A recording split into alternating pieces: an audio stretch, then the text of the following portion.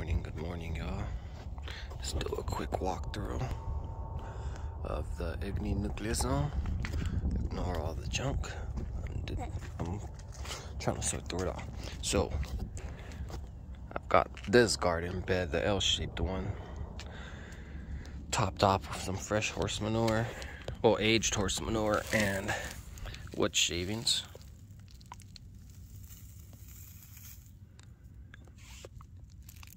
Bladder pods. Stinging nettle that's next to a wisteria that's did not take, but it's still a little green inside. Maybe it'll take. We'll see. But here we have Leucaena, which got some grass growing beneath it. The Leucaena is it's alive, you can see right there. But it's not growing. Petunia another bladder pod right there. And this will be bougainvillea in the future. So trellis up that. Here we have a red yucca. Now we have the pomegranate. Excuse the focus on the camera. I don't know. It freaks out about focusing like that. But right here we have our pomegranate. It's looking pretty good. It's got a lot of little flowers on here some. All right. Continue with this one. This, we have the grape back here.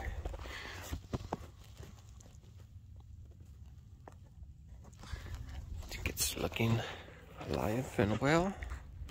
Then we have the Texas sage looking amazing that grape that was planted there is okay so this grape let me avoid touching that stingy nettle. This grape right here it was up to here. I broke it down to here where from that point there it stops being dead. And this still has a lot of flexibility and life to it so I'm hoping that's gonna end up popping back up then in the back over there, we have another grape that's leafing out. Our rosemary. It's it's looking good. It looks like it's recovering, but uh, you can see some. You can see it has a lot of stress. That grape down there is dead. Unfortunately, I'll have to put a different grape. Then we have a bladder pod right there. And that's this garden bed. Now, we'll work our way towards this way. This here, so that whole area is water runoff.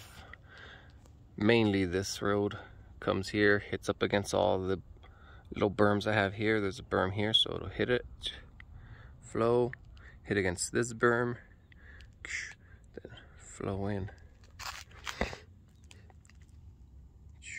that overfills, it'll come this way and go into the future pond area, which right now is currently a fire pit.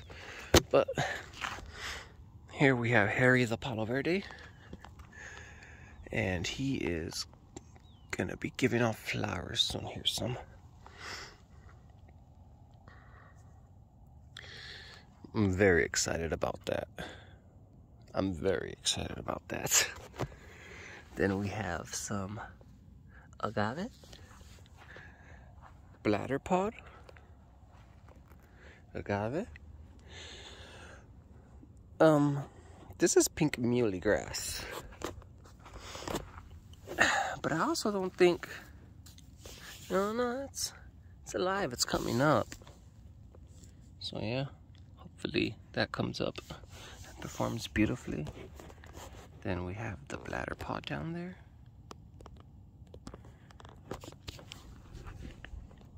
right next to the Palo Verde. I took off the protection that was around this mesquite. Um, I don't think anything's gonna eat it in here. We kind of have a little rabbit fence line. It's a little damaged in certain places, but it's so far it's done the job. Then we have this agave. I think those are the Americana, American agaves. But I'm not sure what this one's called. I forget. I've I've looked it up before, just don't recall. Then here we have what we call Mimi, the mesquite, Chilean mesquite. She had a bad case of the transplant shocks. Looks like uh, looks like it may be recovering. There's some new leaf growth on it. But there's also current leaf growth on it that's falling off. So I'm not too sure how the mes this mesquite will will handle the summer and spring. We'll see. And here we have the silver cassia looking absolutely gorgeous, blooming providing that delicious nectar to the local bee population.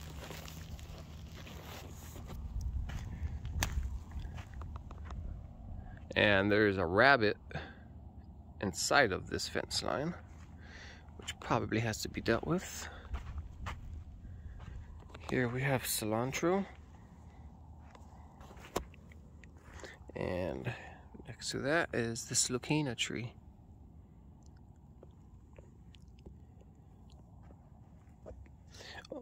and a pomegranate, or my bad, bladder pod right there. Now we have this fig tree. And this bladder pod.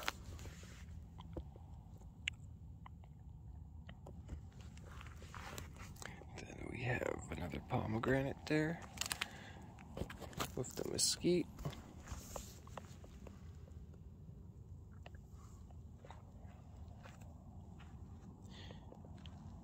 Here we have another cilantro with another leucaena. Uh, now, as for this leucaena, I do believe, yep, it's got some leaves coming off of it, so it's alive and well. It's a little top dead. There we have a petunia cactus. Right here we have the Eldarica pine, which is doing pretty good, I believe. Trunk is thickening out. Oil filled.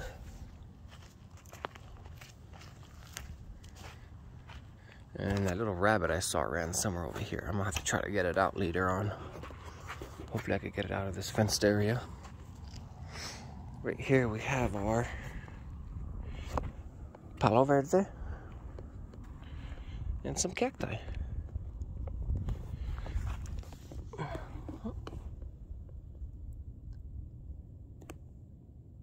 Now, everything's looking good. It's greening up. Everything had a deep watering last night. Okay. Then we have some agave here. Another bladder pod there, the one I had previously planted, like in that area it died. So put that other one there. Uh, the future bathroom site. I'm gonna use pallets, some 4x4s, put some 4x4s in each corner and then put pallets as the walls. And then eventually I'm gonna cob over that on the outside. So it'll eventually have an appearance of a cob structure. And here's a fig some sorghum growing right next to it. Empty water tank. now this garden bed was extended out a little bit. But what we have in here is stinging nettle right next to this palo verde. Oh, cactus. Another bladder pod. Here's the other fig. So right now we have three figs growing. Another agave, O petunia, purple needlegrass. Right in there is another bladder pod. Now you can see they're all growing very differently and that kind of clearly shows the effects of the sun and where they're growing in the little microclimate they're going to grow differently taller wider bigger leaves slightly smaller leaves. Here we have the Chilean mesquite. It is leafing out. It's, it's gorgeous. Then we have O Petunia Desert Senna.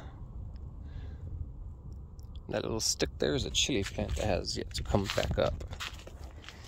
Then in this garden bed we call Sarah's garden because these rocks were donated by Sarah, my sister. We have a dwarf olive bush. Uh, it hasn't put on much growth, but it's I believe it still has some transplant shock. Then right next to that we have red yucca.